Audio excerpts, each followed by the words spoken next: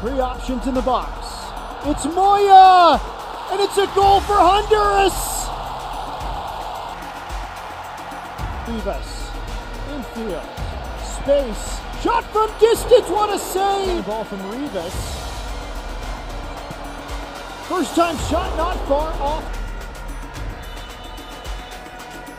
Ball. Rubio the substitute. Rubio is in. Lays it back.